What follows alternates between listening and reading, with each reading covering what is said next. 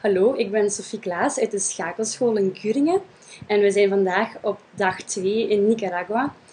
Uh, vandaag was het eigenlijk een heel ontspannende dag. We zijn deze morgen gestart met een lekker ontbijt en een super grote fruitsap.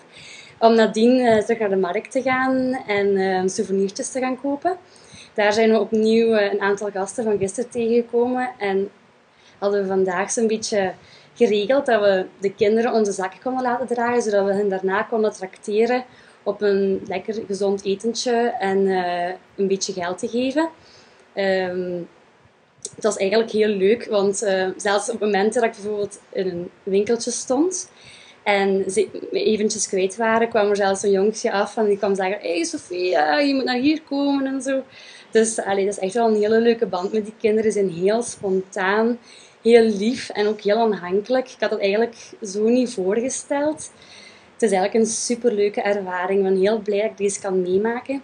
Uh, nadien hebben we het heel rustig gehouden. Zijn we nog eventjes naar het hotel geweest. En hebben we daarna een wandeling gemaakt naar het meer van uh, Masaya. Het uh, was ook heel mooi om te zien, maar omdat het vervuild is, wordt het niet meer gebruikt.